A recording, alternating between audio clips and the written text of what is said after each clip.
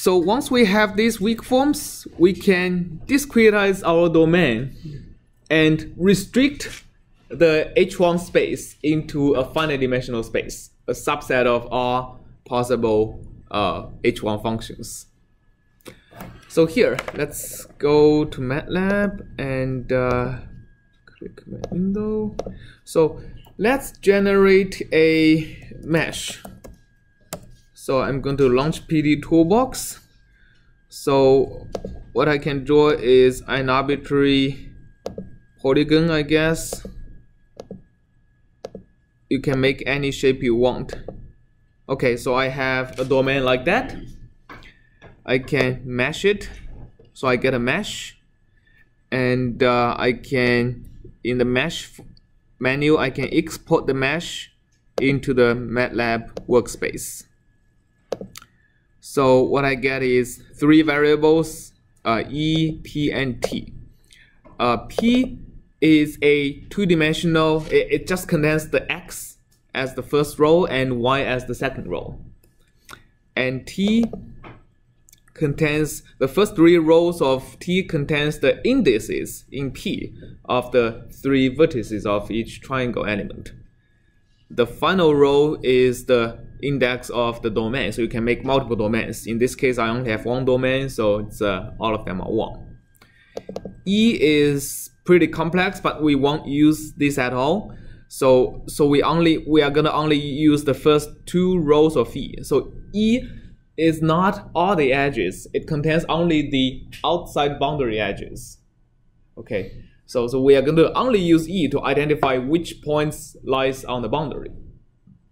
Okay, so so for example, we are, let's let's figure this out for now. Um, so I at the boundary is simply equal to the unique points in the first row of E and the, the second row of E. So these are IB. They are uh, there are. It turns out there are 70 uh, points. There are exactly 70 points on the on the uh, on the boundary, which makes sense. There are 70 edges on the boundary, right? So if you look at the dimension of E, there are 70 edges. So uh, so because it's two-dimensional domain, the number of edges on the boundary is the same as the number of points on the boundary. All right. So what's next? Let's visualize the mesh. So MATLAB, there is a trimesh function, and uh, the first argument of trimesh should be the triangles, which I can take the first three rows of T, and MATLAB actually needs its sorry needs its transpose, so it needs a n by three matrix as as the triangles, and the three are just the indices of the points, and uh, the x dimension of P is P1 and the Y, uh, the Y dimension is P2. So that gives me, the, the, the, I think I ha have an actual parenthesis. So that gives me a mesh. Uh, close.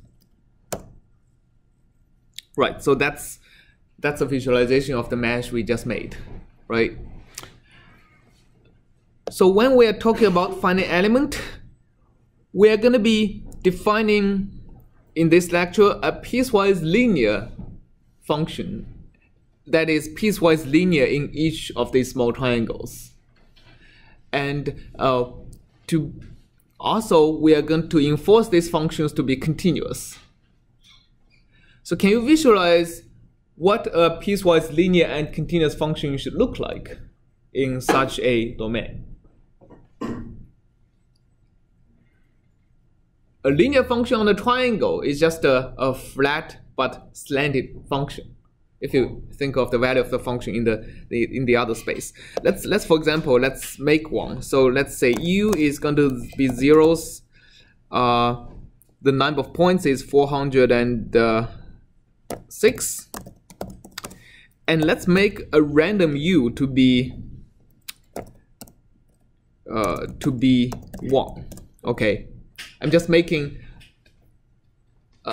I'm just making a function that is equal to zero on all grid points except for one grid points. And let's visualize what this function looks like. I'm going to trimesh the function, but with another variable u here. This is how the function look like.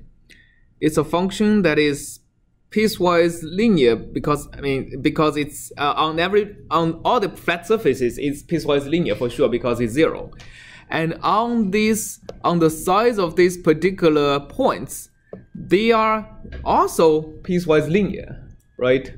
Because each element is a triangle, and if you define the three values at the three vertices, you get a linear function. You get a unique linear function. So this is one of the basis functions. And uh, I think you can also do a trisurf that may make it a little bit more clear. Right, so that gives you uh, that gives you a continuous surface. I shouldn't, oh. Duh, duh, duh, let me, let me do that again. That's rotate, yeah, rotate 3D so so you can see it's a, it's going to be a function that is uh, uh, continuous everywhere and piecewise linear. Okay, and we can do this for as many times as there are interior grid points. Right, because if I have the boundary values to be zero, I don't need the boundary grid points to contribute to the basis functions. They are all zero.